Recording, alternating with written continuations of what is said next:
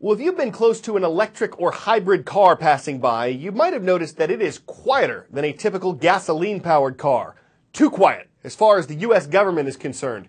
So the National Highway Traffic Safety Administration has a new rule for electric or hybrid cars sold in the U.S. They've got to make more noise.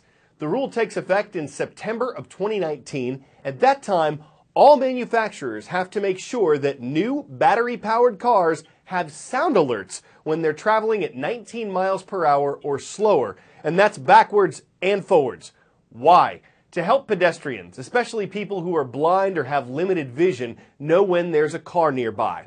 The administration says people depend on their senses to alert them to possible danger, and that hearing as well as seeing the cars could increase safety. It says the alerts could help prevent 2,400 pedestrian injuries every year.